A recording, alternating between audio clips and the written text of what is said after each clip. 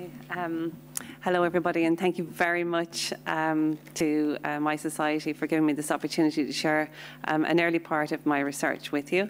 Um, and thank you all very much for coming in here this afternoon. It has been a really exciting conference, and I know we're winding down towards the end, so I'm going to keep it fairly snappy and short, um, and I'll move on to the good stuff straight away, hopefully.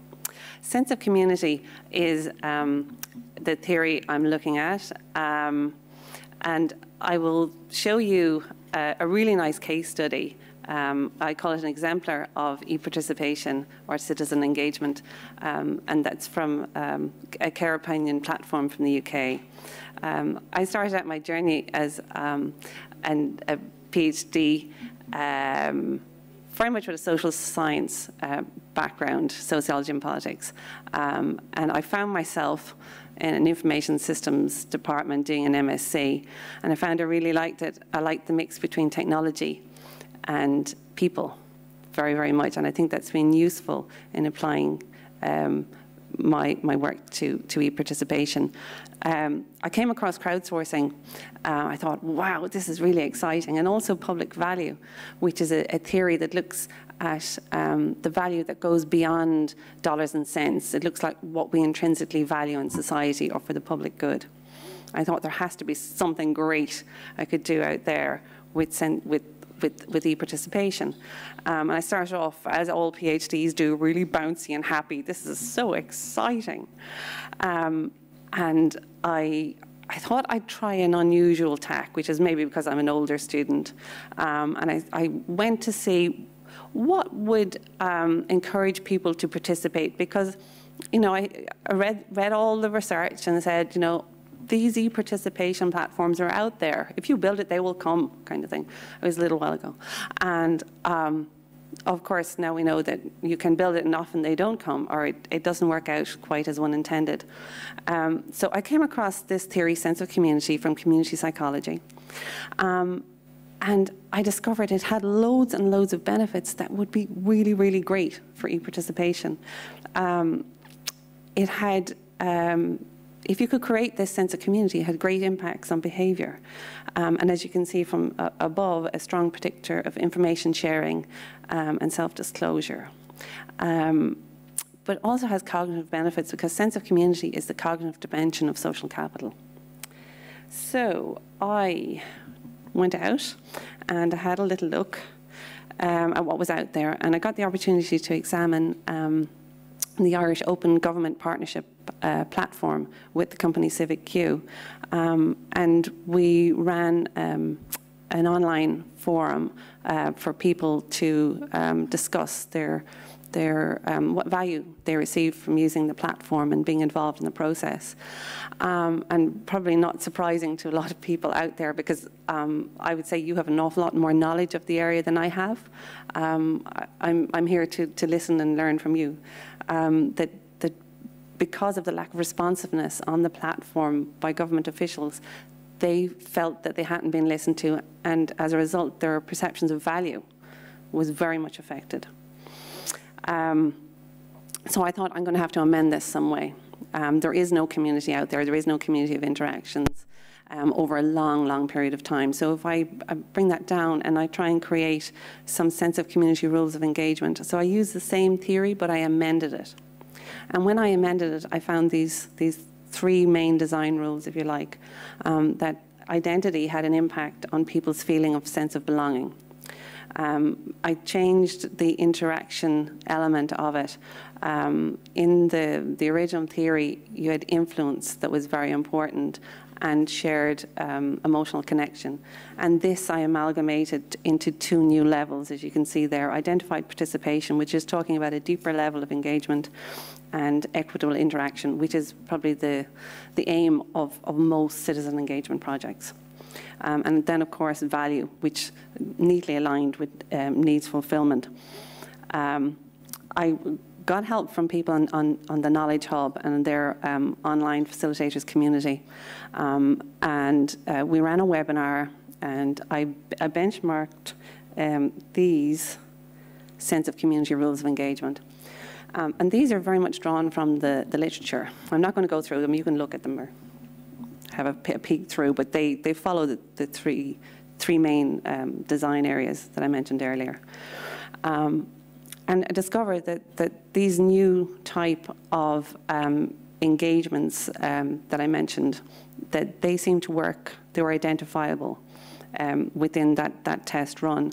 And then I very kindly got permission from Care Opinion in the UK um, to examine the interactions on their platform.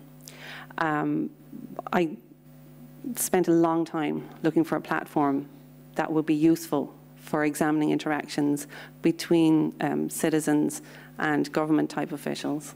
Um, and I'm not an expert in the health area, but um, Care Opinion are.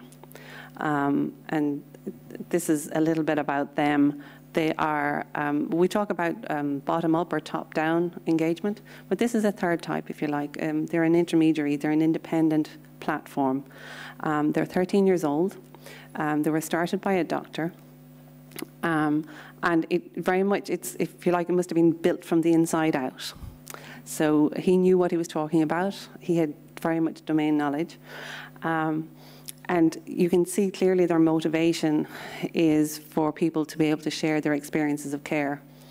Um, and it, it, it's moved from um, called, being called patient opinion to care opinion to reflect all different types of care settings. Um, and you can see their, their mission statement there.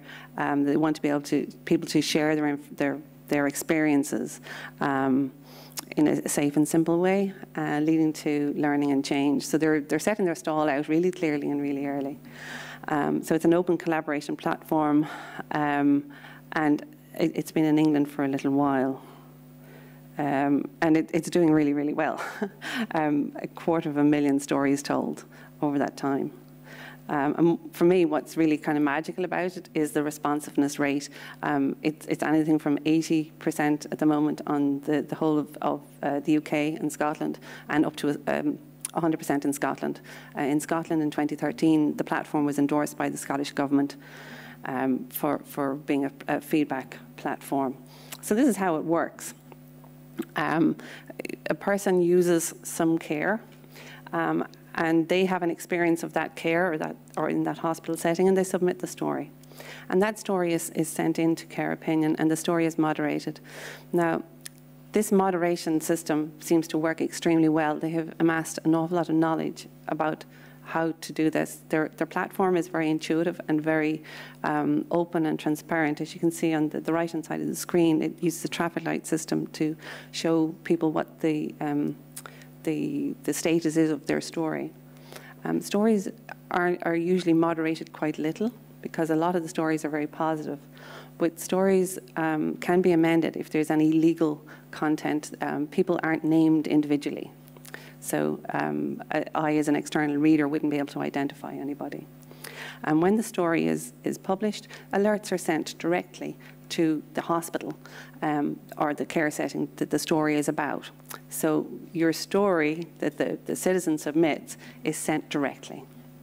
And it's really, really useful.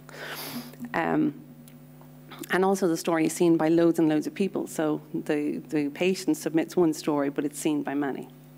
And of course, it's all open and transparent. It's open for everybody to see.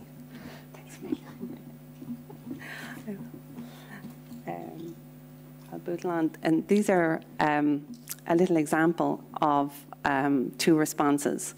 Now you can see from um, the one on the left that it's, it's a, possibly that it's quite a serious topic, but the um, the responder has shared her picture and her full job title, um, and it's been seen by many many people. It's, uh, it's, it's been liked. So people get a chance to like what they see, or I've experienced this, or I haven't. So that there's, the, the platform is very good at, at kind of seeking every level of engagement they can find. Um, and what I did is I analysed the responses to see what kind of language was being used and what kind of information was being used using the framework. Um, the, there's a, a, positive and a negative story there, and um, you can see that the language is pretty similar. There's no difference. It's still socio-emotional language. There's still information being shared, um, and it's still personal and direct. Um, as you can see from the, the bottom, people um, can use it in different ways. When they, they sign up to the platform, um, they have access to um, to, to reports from the platform. Um, but just the, the feedback from the patients, often people will share within their circles within hospitals, and it, it's good for, for staff morale. But it also um, can be used for um, creating uh, further improvements or even planning in the future or planning changes. Um, this is the back end of what the um, the, the staff will can receive, the, if you like, the, the managers can analyse um, the positive and negatives that, that are found. The stories are tagged by the, the users. Um, the, the, citizens originally. Um, and as you can see, most of these are really, really positive. The green are all positive with the, the um, pink being negative. Um, and you might spot communication just about in the middle there. Communication is always the, you know, so is good, but communication is generally the problem. So I'll just show you what my qualitative analysis showed. Um, I had I couldn't examine sense of belonging particularly well, except to say that people shared information really freely on this platform. There were two different levels of identity sharing. Um, patients um, or their carers or whoever was submitting the story are anonymous, but they go through the moderation process, and therefore um, it's it's all very um, ordered, and uh, there is there's no uh, slanging matches online or anything like that. Um, so you can see um, I've got uh, identified participation, the, the socio-emotional language in there, um, and uh, equitable interaction, and needs fulfillment out on the side. What I was hoping to, to um, show from this is just the broad concept of what's going on, is that there's both intrinsic and extrinsic values from it. Um, there's some people get a change out of it. Some people, um, the staff might get a boost to morale from being told they were doing a good job, or their bosses can see they're, they're doing a good job too. Um, but oftentimes it's just getting that socio-emotional response is that someone is listening to me. I, I, I submitted a story, someone listened to me. I feel a little bit better about that. Um, and this is how it works out um, in the different types of interactions. Um, the, there are different types of socio-emotional interactions divided up by, by type and level there. Um, um, it, it, took a little while to, to roll through these, and, and, this is a template that I'll be looking at the rest of the platform with, or as, as much of it I can manage. Um, the, the, different levels of, of contact are quite interesting too that um, in the more negative uh, stories, people are quite open about saying, This is my number, please contact me. So it can move from online to offline. And the last one. Um, so, two levels of identity have been recognized as workable within this platform. Um, the moderation seems to have had a huge impact on this platform. Um, it's all respectful, and there are very, very good norms of participation. Um, the, the socio-emotional part is, is key to the platform. Um, and it, it, leads to great information sharing um, and back on onto offline as, as required. And um, for, for all the stakeholders, there is value being created. Um, not just the, the citizen or the patient who's getting a reply, but also for the, the staff who are hearing more about their work um, and they're, they're open to improve their work, which is, is really good and that comes through in the platform. So the motivation behind um, the whole thing is, is really positive and clear. So I'd love to hear what you think about it later or at the end or, or whenever. Um, and thanks very much for your time.